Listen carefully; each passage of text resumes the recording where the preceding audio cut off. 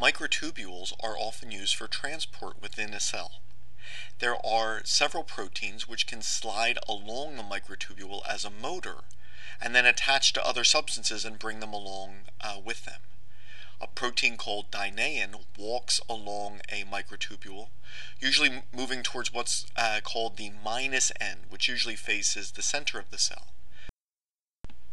Another protein, kinesin, moves towards the positive pole of the cell.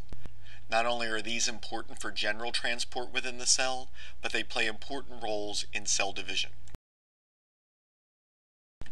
These molecular motors can then attach to the kinetochores and thus move the sister chromatids towards their correct orientation.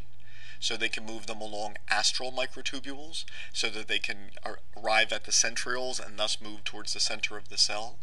And they can move along the lateral surface of a microtubule so that they can reach the end where they will more firmly attach kinesin has special roles at the end of uh, the microtubule where the chromatid is aligning at the metaphase plate and a number of very important uh, proteins uh, which are active during metaphase uh, are adding phosphates or taking phosphates away from the kinesin uh, motor uh, depending on whether chromatids are properly attached.